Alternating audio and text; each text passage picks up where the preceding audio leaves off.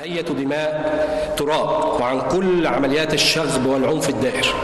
كما تحيي الحكومة جهود قوات الأمن في تطبيق القانون فيما يخص فض تجمعي ربعة والنهضة وتشيد بالتزام تلك القوات بأقصى درجات ضبط النفس. والأداء الاحترافي العالي خلال عملية فض الاعتصام وهو ما انعكس في انخفاض أعداد الإصابات في صفوف المعتصمين بالمقارنة بالأعداد المتواجدة على الأرض وحجم التسليح والعنف الموجه ضد هذه القوات.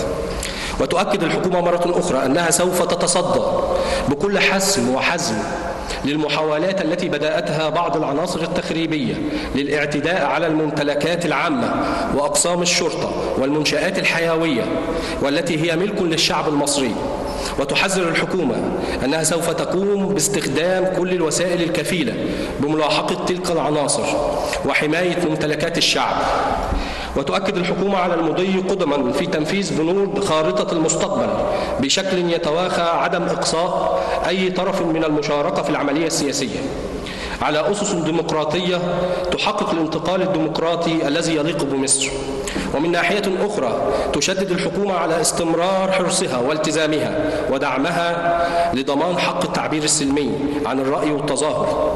طالما كان في إطار القانون وحماية حرية الآخرين والحفاظ على سلامة وأمن المجتمع حمى الله مصر.